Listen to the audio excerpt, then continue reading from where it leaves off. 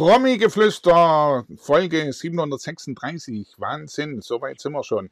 Und ja, ich, ihr seht, ich habe mich mal wieder ins Trachtenhemd gezwängt. Gezwängt kann man schon sagen, weil ja, über die zwei Jahre, wo jetzt kein Oktoberfest war, wir schon ein bisschen, äh, hat ein bisschen zugenommen und aber es passt noch, es passt noch. Und hinter mir äh, Marstall äh, Atmosphäre und das hat auch einen guten Grund. Ich habe mir heute zwei Gäste eingeladen. Äh, Oktoberfest 2022 findet statt. Das wurde heute verkündet von Oberbürgermeister Dieter Reiter. Und wie gesagt, zwei Gäste habe ich. Heute zum einen den Gary von der, vom Vollgas Orchester. Hallo Gary. Servus, grüß euch, habe die Ehre. Und dann darf natürlich auch die Tracht nicht fehlen, die gehört zum Oktoberfest natürlich dazu. Und da einen Vertreter natürlich mit Frederik Meissner Tracht und natürlich den Frederik Meissner persönlich. Hallo. Servus, grüß euch. Habe ich ja, Servus. Und natürlich sind wir alle drei zur Stelle. Wie habt ihr jetzt die frohe Botschaft aufgenommen? Fangen wir mal mit Frederik ja, an. Wenn ich was sagen darf, äh, ich habe es ja schon vermutet, dass äh, äh, Dieter Reiter keine andere Chance mehr hat, nachdem ja Markus, mein Freund Markus Söder schon ähm, darauf hingewiesen hat, dieses Oktoberfest wird stattfinden. Und es blieb ihm heute nichts mehr anderes übrig. Was heißt nichts anderes übrig? Äh, wir sind froh, dass wir wieder das Oktoberfest haben 2022. Und der Gary als Musiker, was sagt er? Ja, ich bin äh, sofort barfuß äh, zur nächsten Wallfahrtskirche gelaufen, natürlich. Das ist ganz klar, weil für uns ist das, war das natürlich die beste Nachricht seit langem. Wir freuen uns unglaublich, dass endlich wieder Wiesen sein darf. Äh, das ist, das ist ein, ein, ein Thema, was uns lange, lange gefehlt hat. Äh, zwei Jahre ohne Wiesen, das kann man sich überhaupt, das kann man sich überhaupt nicht vorstellen eigentlich. Und jetzt ist es doch passiert gewesen. Und umso größer ist die Freude, dass jetzt im September dann endlich wieder losgehen darf und kann. Ja, hoffentlich, dass es auch wirklich so äh, alles planmäßig läuft, dass nicht irgendwer doch noch mal einen Strich durch die Rechnung macht. Das wollen wir jetzt alle nicht hoffen. Sind allen guten Mutes. Und äh, ja, wir Marstall, wollen nicht hoffen, Frank, dass die Zahlen wieder steigen, weil die der Reiter natürlich äh, noch mal gemeint hat, falls die Zahlen wieder steigen, Corona-Zahlen, dann könnte es sein, dass das Oktoberfest kurzfristig abgesagt werden kann und soll, aber das wird nicht. Wir sind auf dem Weg der Besserung, alle sind wir gesund und das ist Hauptsache. Und es wird auch so sein, wenn am 17. September 2022 es wieder heißt, Ozapft ist und ich hatte auch schon mal das Vergnügen, äh, in einem kleineren Zelt beim, beim Stiftel auch mal mhm. anzapfen zu dürfen mit zwei Schlägen. Hat richtig Spaß gemacht. Und das Schöne daran ist äh, bei der jetzigen Entscheidung, dass ohne Begrenzungen die Wiesen stattfinden wird. Sehr schön. Und äh, ein Bild habe ich hier von dir gerade bekommen noch, ja. ganz kurz. Zeig dich mit dem Markus Söder und was ist das für ein Krug? Äh, das ist der Krug, den der äh, Markus Söder designt hat äh, für das Oktoberfest damals vor sieben Jahren. Und da mhm. hat er mir noch eine schöne Widmung gegeben. Okay, sehr gut. Ja. Und der hat einen tollen Ehrenplatz bei dir, nehme ich an, ne? Genau. Und ich habe auch noch einen schönen Krug hier. Der ist von unserer Monika-Gruppe. Ja. So, jetzt, na, nee, gerade die Richtung, so stimmt's, genau. Ah. Ja. Ja, jetzt, das jetzt ist kommt auch eine schöne Widmung. Ja. Mit äh, für Frederik Bussi, deine Monika Gruber, der hat auch mal einen Münchner, designt, genau. Der Münchner im Himmel, jawohl, der Aloysius, genau, richtig. Genau. Ja, und dann gibt es hier noch ein schönes Foto äh, mit dir und äh, der Bedienungen. Ja, ja, ich bin ja umtriebig, ich bin ja umtriebig, wie du weißt, äh, ja. Frank, und da sind die Jungs von der Champagnerbar im, ähm, im, im, Marstall, wo auch der Gary spielt, äh, ausgestattet worden von mir. Und auch im Weinzelt haben die Burm äh, Meißner Tracht an. Ja, wunderbar. Also da habt ihr jetzt schon wieder was gemeinsam. Marstall, die Sache, ne? genau. Äh, der Gary mit seiner Band Vollgasorchester, Königlich Bayerisches Vollgasorchester. Der Name ist sehr mhm. lang, das muss man wirklich sich immer auf der Zunge zergehen lassen. Aber der ist Programm. Der Name ist Programm. Genau, äh, was kann man oder wann kann man, ab wann kann man euch erleben? Wann seid ihr zur Stelle dann im Marstall? Also, zum einen einmal ist der Name standesgemäß und wenn schon, denn schon, äh, weil Freibier kann jeder heißen, aber königlich bayerisches Vollgasorchester, das ist mein Statement. Und äh, genau deswegen sind wir auch so angetreten und äh, wir freuen uns sehr, dass wir ab 2022 jetzt wieder und immer noch im Marstall äh, die Abendband sein dürfen und werden jeden Abend ab 18.30 Uhr, äh, wie gewohnt, bis 22.30 Uhr äh, gepflegt die Hütte abreißen. So ist der Plan. Na, wirst ja. du natürlich auch mal vorbeischauen, äh, Frederik, oder? Ja, unbedingt. Äh, ich meine, der Siege Able ist ein langjähriger Freund von mir. Wir hatten früher Trabrennpferde in München-Dagelfing äh, beim gleichen Trainer und äh, seit der Zeit kennen wir uns. Und so ist auch die Verbindung entstanden, äh, dass er mich gebeten hat, ja, magst du nicht äh, meine Jungs von der Champagnerbar ausstatten mit deiner Frederik Meissner Tracht? Eine lange und, Verbundenheit. Um das Ganze aber dann noch ein bisschen abzurunden, ich weiß ja jetzt nicht, wie, die, äh, wie das Vollgasorchester ausgestattet ist. Lieber Frederik, ich freue mich ja, dass wir uns einmal kennenlernen jetzt. Und du wolltest ja, doch immer schon mal eigentlich. Du, Gerrit, du solltest schon mal eine ausstatten, oder? Ja, genau. Du solltest mal in der Rumfortstraße 37 vorbeikommen bei mir in München. Dann findet man mit Sicherheit, ein, wie sagt man so schön, ein geiles Outfit. Gleich. Das machen wir. Das machen wir. Ja? Ich, ich halte es dann im Bild und Ton fest dann. Das machen wir dann. okay. Ja. Gibt schon wieder die nächste Geschichte. So ist es, ganz genau. Ja, ja äh, glaubt ihr, äh, es ist jetzt wirklich ans Oktoberfest, so wie es äh, war, wird so über die Bühne gehen, auch mit dem allen, äh, mit dem Trachtenumzug und allem drum und dran, so wie es auch ist? Oder glaubt ja, ihr, dass das, das eher weniger ist? Stattfinden, aber es wird trotz alledem für mein Empfinden so eine kleine gedämpfte Stimmung sein. Aber wenn die Burm wieder gerne gute Musik macht, dann tanzen es wieder alle auf den Tischen und auf den Stühlen. Das auf alle Fälle, ganz genau. Ja.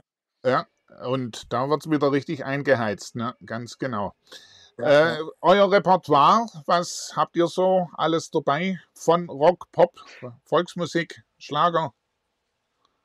Wir haben das Bewährte erhalten und um Neues, Sensationelles ergänzt. Äh, wir haben alles dabei, was man für eine richtig, richtig fette Wiesenparty braucht, das ist ganz klar. Und heizen vom ersten Ton weg ab, äh, natürlich ein, bis, bis der letzte Gast zufrieden ist und bis das Licht ausgeht, äh, geben wir Vollgas, weil unser Name ist Programm und äh, deswegen hat uns auch der Sigi Able verpflichtet und uns das Vertrauen geschenkt für die nächsten Jahre und wir freuen uns wie die Schnitzel, dass wir da jetzt äh, dabei sein dürfen und die nächsten Jahre bestreiten dürfen.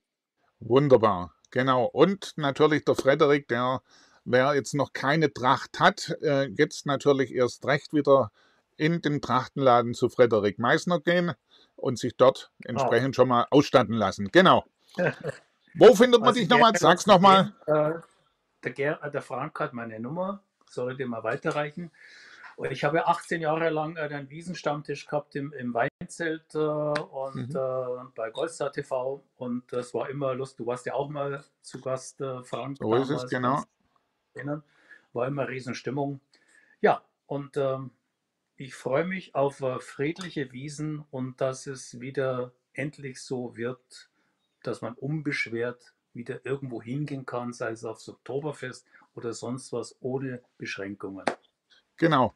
Also ich denke mal, Corona, das wird man hoffentlich soweit gut im Griff haben. Das andere, wo wir natürlich vielleicht alle auch noch ein bisschen Angst haben, äh, ist, was hier unser Freund aus äh, Russland macht, ob der nicht noch ja, irgendwo ein näher drauf eingehen, weil es soll uns nicht davon abhalten, dass wir hier ein Oktoberfest stattfinden lassen können oder irgendwelche Frühlingsfeste oder Weinfeste oder Waldfeste.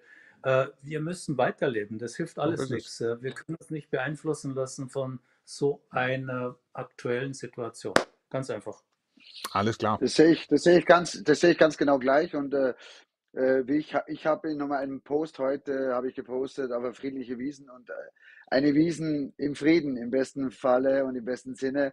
Wenn das äh, gelingt, dass bis dahin vielleicht sich das Ganze wieder ein bisschen äh, beruhigt und, und wieder so wird, wie es sein soll, dann wäre es natürlich noch umso schöner äh, und umso unbeschwerter könnte man das Ganze dann noch äh, ja. gestalten. Aber ich gebe dem Frederik völlig recht. Also das Leben muss weitergehen und man darf Feiern nicht vergessen, bei dem ganzen Ernst der Lage äh, muss das trotzdem ja. auch äh, weiterhin zum Leben gehören. Mhm. Und äh, was gibt es Schöneres, als mit Freunden und mit, äh, ja, mit der ganzen Welt ein friedliches Fest feiern zu dürfen? Eben. Absolut. Mhm. Sehr schön. München, die Weltstadt mit Herz begrüßt wieder die Menschen aus aller Welt Ganz am, genau. ab 17. September bis zum 3. Oktober. Wunderbar. Ich freue mich drauf und freue mich natürlich auch, euch dann mal wieder live in Natura zu sehen, dass wir da auch mal wieder ein gemeinsames Bierchen sozusagen heben können, anstoßen können. Trinkst du mehrere Bierchen? Trinkst du mehrere Bierchen, Frank? Kleine Bierchen. Bei uns im, bei uns im Vasen gibt es äh, kleine Bierchen ja. sogar. Ihr habt ja, ja gleich die großen Krug da, ne? Ist der Kölsch, die haben diese kleine, ne? Nee, bei uns gibt es auch mal ein kleines. Sowas ja, in der Richtung. Da kann man mehr trinken davon. Genau. Und bei uns gibt's halt, äh, Da gibt es den großen Krug. Genau, jedem, bei jedem verschieden, richtig. Nee, aber da würde ich mich freuen, wenn wir da gemeinsam dann an einem Tisch sitzen und entsprechend anstoßen. Gut. So machen wir es. Dem Frederik sage ich jetzt mal schon herzlichen Dank. Ich weiß, ich äh, er hat gesagt, ganz kurz, kommt er mit rein, denn ja. es wartet das Abendessen, glaube ich, gell? Richtig, genau. Was Gary, gibt was gibt's gut? Darf man das noch erfahren? Äh, das werde ich jetzt nicht verraten, weil das bleibt ja lange Zeit dann abspielbar. Nein, es okay. gibt was Leckeres. Alles klar. Dir ein schönes Wochenende und bis bald, lieber Frederik. Danke. Ebenso. Danke. Tschüss. So, Frederik, den haben wir jetzt aus dem Programm. Jetzt muss ich bloß schauen, äh, ganz kurz wieder umzwitschen. Da geht es mit dem Gary noch ein kleines bisschen weiter. Den haben wir jetzt hier, beziehungsweise mich. Und dann holen wir hier den Gary wieder dazu. Da ist er. Sehr schön. Da sind wir wieder komplett.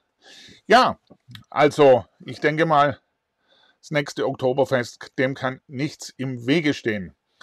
Wie sieht es bei euch jetzt aus? Was gibt es Neues? Habt ihr jetzt musikalisch euch mal eine CD nochmal rangewagt oder wie ist da der aktuelle Stand?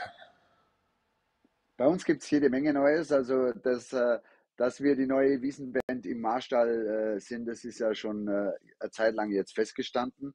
Es war noch nicht natürlich dadurch, dass es dass jetzt zwei Jahre Pause war, das Ganze noch nicht so präsent, aber man wird es jetzt immer mehr, natürlich wird das Thema jetzt immer mehr aufkommen und äh, wie, wie gesagt, wir freuen uns unglaublich, dass das geklappt hat.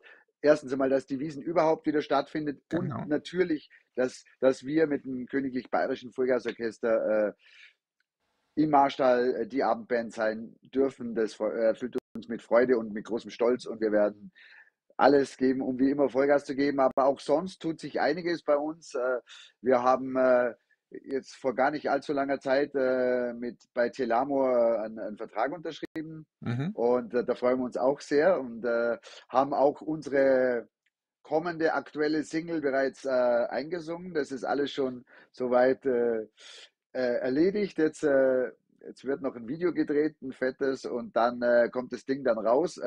Natürlich wird, wird, im Anschluss daran auch eine, eine, Platte dann irgendwann ein Thema werden. wir werden jetzt aber erstmal das, das äh, Ding raushauen und das wird speziell, es wird eine, ja, wie soll ich sagen, eine musikalische Liebeserklärung ans Oktoberfest, an die Wiesen von uns, an die Wiesen. Äh, ich darf noch nicht zu viel verraten, aber es wird, äh, es ist ein, ein sensationeller Titel, der ins Ohr geht, der im Kopf bleibt und wo man nichts anderes kann, als auf die Bänke äh, zu gehen und äh, zu tanzen und da gute Laune zu haben, weil das geht gar nicht anders. Und das Ding kommt jetzt dann bald raus und wir werden natürlich das äh, auf, auf sämtlichen Plattformen präsentieren, dürfen auch das ein oder mhm. andere Mal im TV zu Gast sein. Und da freuen wir uns schon sehr drauf. Das klingt doch sehr gut. Also da äh, ja, drücke ich euch ganz fest die Daumen, dass das alles so wird und natürlich, dass euer Weg da so weitergeht, wie ihr es vorhabt. Jetzt müssen wir doch auch noch mal ganz kurz ein bisschen auf die Wiesen noch mal äh, insofern eingehen. Äh, natürlich, es wird gerade alles teurer, das ohne Zweifel, das haben wir natürlich, überall äh, spürt man es im Supermarkt etc. Was denkst du, wie wird sich da auf der Wiesen der Trend äh, äh, einpendeln? Muss man dann bald rechnen damit, ein Maß vielleicht für 15, gar vielleicht auch 16, 17 Euro zu bezahlen?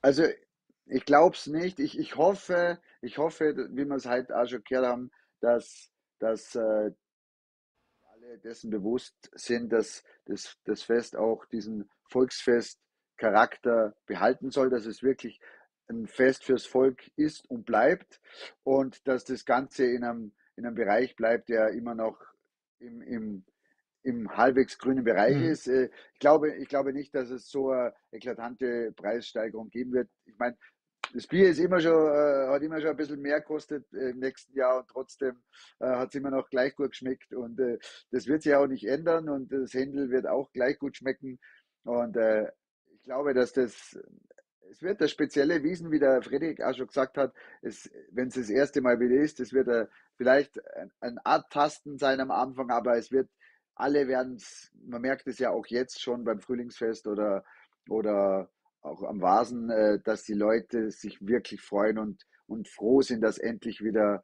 einmal Tracht anziehen dürfen und ein bisschen feiern dürfen. Genau. Weil es so wichtig ist, dass man das auch hat. Da. Richtig, also die Frühlingsfest, das zeigt ja schon, dass die Leute wieder feiern möchten und wieder raus möchten. Und jetzt dann äh, zum Oktoberfest dann auch wieder mit Zelt. Ja, genau. Wunderbar. Und äh, auch, wir werken es auch auf unserer Tour. Also wir sind jetzt äh, eigentlich schon äh, unterwegs seit letzter Woche und jetzt geht es durch bis, ja, bis äh, Mitte November eigentlich fast. Okay. Äh, äh, und das ist ganz toll, weil man darf ja nicht vergessen, dass es das Vollgasorchester offiziell ja erst seit 2021 mhm. gibt. Und ich habe ja schon mal gesagt, das ist in der, in der Pandemiezeit eine neue Band zu gründen, das ist halt ungefähr so, wie wenn man ja, in, äh, am Nordpol Kühlschränke verkaufen Richtig. möchte. Das ist jetzt nicht die, da, sagt man erst einmal, das ist jetzt nicht die Top-Geschäftsidee, aber wir haben genau gewusst, was wir tun und dass, dass das äh, funktionieren wird. Und wir sind äh, total glücklich, dass uns so viele Menschen das Vertrauen schenken, zum einen, mhm. und uns äh, buchen oder wieder buchen und auch ganz viele neue äh, äh, Geschäftspartner und, und, und Kunden äh, uns gefunden haben und mit uns zusammen äh, was planen dieses Jahr. Da freuen wir uns ganz gewaltig und wir sind viel unterwegs, wir sind überall unterwegs und man wird uns sehen und man wird uns hören und, äh, äh und trotzdem, dass eigentlich noch ganz viele Veranstaltungen natürlich von letztem und vorletztem Jahr noch die Buchungen immer mhm. aufrechterhalten gehabt haben, wo, wo es nichts zu holen gegeben hat natürlich. Äh, trotzdem sind wir wahnsinnig zufrieden, weil wir schon äh, jetzt weit über 50 äh, Auftritte schon fixiert haben für dieses Jahr und äh, da freuen wir uns sehr und, äh, und äh, ja, starten mit vollem Elan und mit Vollgas in, die, in die hoffentlich erste richtige Saison wieder. Prima. Wenn man jetzt noch ein bisschen mehr über das Vollgas-Orchester äh, wissen möchte, wo seid ihr überall zu finden? Facebook, Instagram oder Homepage? Also wir sind wie es falsch, wir sind wie das falsche Geld. Uns gibt es überall natürlich äh, äh, auf unserer auf unserer Website äh, vollgasorchester.de sind wir zu finden. Dann natürlich auf Facebook, Instagram, YouTube-Kanal haben wir äh, äh, also es gibt fast nichts, wo es uns nicht gibt. Und äh, äh, wir freuen uns auf alle Abonnenten und Besucher, die uns auf unseren Social Media Kanälen immer wieder besuchen. Wir versuchen auch immer wieder äh, die Leute über unsere News zu informieren und dass man weiß, was läuft. Und, und ihr habt natürlich auch die Möglichkeit, äh, unseren Newsletter zu abonnieren. Das gibt euch die okay. einmalige Gelegenheit, immer, immer wirklich on top zu sein und, und sofort zu wissen, wenn es was Neues gibt. Oder mhm. ihr könnt unserem Fanclub, äh, dem äh, Königlich Bayerischen Vollgasorchester Fanclub beitreten. Da würden wir uns auch sehr freuen. Das gibt es auf unserer Website, gibt es alle Informationen, die man so braucht. Und dann habt ihr vielleicht auch die Möglichkeit, so ein tolles Hoodie oder eines der anderen großartigen äh, Fan-Items euch zu holen, was es bei uns gibt. Und da gibt es einiges. Auf alle Fälle. Schaut vorbei, ganz genau. Und dann heißt es dann hoffentlich dann wieder äh, Ors, zwei, drei. Und jetzt bist du dran. Xufa-Horst, genau. genau. Und das nicht nur auf der Wiesen, sondern natürlich auch sonst überall, wo wir spielen. Zum Beispiel morgen Abend sind wir am Start in Osnabrück. Wir mhm. wollen unbedingt zurück nach Osnabrück und deswegen haben wir das auch gemacht und sind morgen da im wunderbaren Alando Club. Äh, äh, reißen wir da ganz gepflegt mal die Hütte ab und, äh, und dann reisen wir quer durch die Republik. Wir sind von Nürnberg bis äh, Also wirklich äh, überall sind wir unterwegs, bis in Schwarzwald, natürlich wieder in der Schweiz äh, und in Österreich, in Holland. Also wir freuen uns auf alles, was kommt und äh, es wird gewaltig. Und wir freuen uns natürlich auf unsere nagelneue Single, die dann schon ganz bald rauskommt, wo ich noch Wunderbar. nicht verraten darf, wie sie heißt, aber sie wird abgehen wie ein Zäpfchen. Alles klar, da freuen wir uns. Dir, wie gesagt, und deinen Kollegen alles Gute. Morgen dann einen Danke. tollen Auftritt. Tanz in den Mai ist ja dann, genau. Richtig. So. Und äh, apropos Tanz in den Mai, wie ist es denn eigentlich bei euch in Bayern? Äh, mein, ich weiß es halt noch aus meiner Jugendzeit, da hat man immer mal wieder ein bisschen Schabernack gemacht. Äh, ist das noch bei euch in Bayern auch noch Brauch? Ja, ich gehe jetzt gleich wieder los und klaue äh, wie üblich einen Maibaum. Äh, ich ja, der, der, jetzt steht er ja noch nicht. Jetzt steht er ja noch nicht. Ja, ja, aber die, die, sind ja schon am Aufbauen. Ne? Okay. Die, die, die, passen ja schon auf drauf und die passen ja auf wie die Heftelmacher, aber ich habe ich hab K.O.-Tropfen und alles dabei und dann lade ich den in meinen Kombi ein und dann, und dann, dann poste ich es auf Facebook. Genau, so machst du es. Alles klar. Super. Okay. Dann dir alles Gute. Herzlichen Dank, dass du auch kurz dabei warst zum Oktoberfest. Äh, ja, Anlass, dass es wieder stattfindet. Und ich denke mal, mit der Nachricht können wir jetzt ins Wochenende starten. Danke dir, lieber Frank, für die Einladung und vielen Dank äh, auch euch, liebe Zuseher vom Promegeflüster, dass ihr dabei wart. Wir hoffen, wir sehen uns ganz bald auf einem unserer Auftritte. Und wenn ihr mehr von uns wollt, dann kriegt ihr uns natürlich auf www.vollgasorchester.de oder auch bald im Fernsehen. Schaut's rein. Und natürlich bei Promi-Geflüster, ganz klar. Und dem Frederik, schick, dem Frederik schicken wir auch nochmal einen lieben Gruß hinterher und ihm auch natürlich alles Gute. Und wir sehen uns ja in seinem Laden, das hat er ja gesagt. Du schickst mir seine Nummer, wie wir ausgemacht haben, und dann melde ich mich bei ihm und dann sehen wir uns im Laden und dann. Äh, machen so machen wir es. okay, also herzlichen Dank also. fürs Zuschauen, ein schönes Wochenende und bis zur nächsten Ausgabe.